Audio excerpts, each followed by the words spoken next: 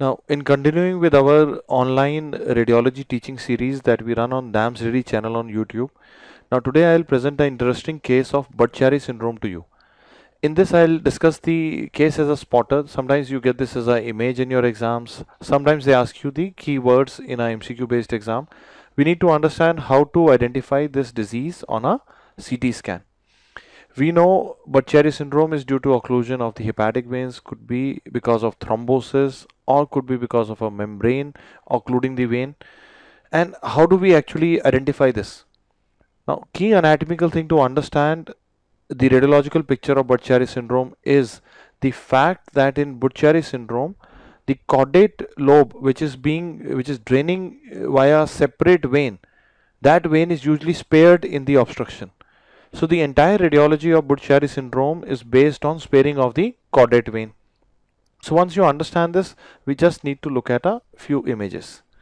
Now this is a non-contrast CT abdomen where you can see this is the aorta and you can see it's non-enhanced. So this tells me we are looking at an NCCT.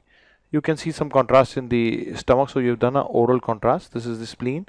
You can see an enlarged left lobe and as compared to the central part. Central part looks more dense as compared to the peripheral part.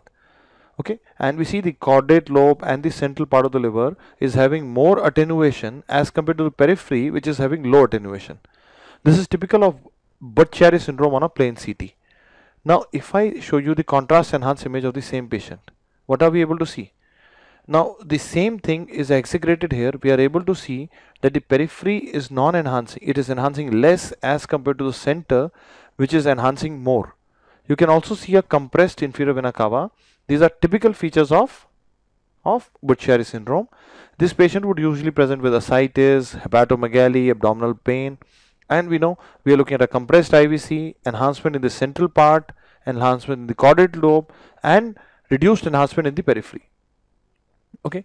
Now the, my key take home messages that I want you to gain from today's spotter series is that early feature uh, in early phase in acute Budd-Chiari syndrome you will see enhancement of the caudate lobe and the central liver around the IVC like we saw in this patient. And the peripheral liver would show delayed enhancement. And at that time the central would have relatively low density. That is called as flip-flop appearance. Because of this enhancement pattern you may call it as a mottled appearance of the liver Chronic stages, the caudate lobe will get enlarged and you will be able to see some collateral channels. This is the key take home message about how to identify Budd-Chiari syndrome on a CT scan. Our intent of this spotter series is to make sure that basic simple radiological diseases, simple uh, disease you can easily learn to identify them on a simple spot based case or on a MCQ based image based MCQ. For more such cases, Please follow us on DAMS Delhi channel on YouTube where we keep adding such educational videos. Thank you very much.